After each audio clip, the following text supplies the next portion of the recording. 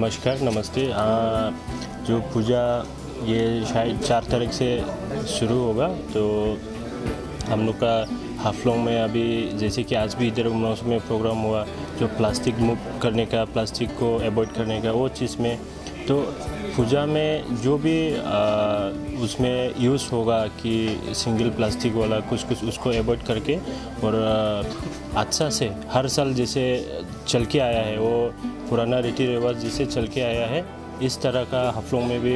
अच्छा से सिचुएशन बना के चलने से ठीक रहेगा और सबको भी दुर्गा पूजा का मेरा तरफ़ से सबको विश करता हूँ कि अच्छा से चले अच्छा से पूजा खत्म हो, कोई बात थैंक यू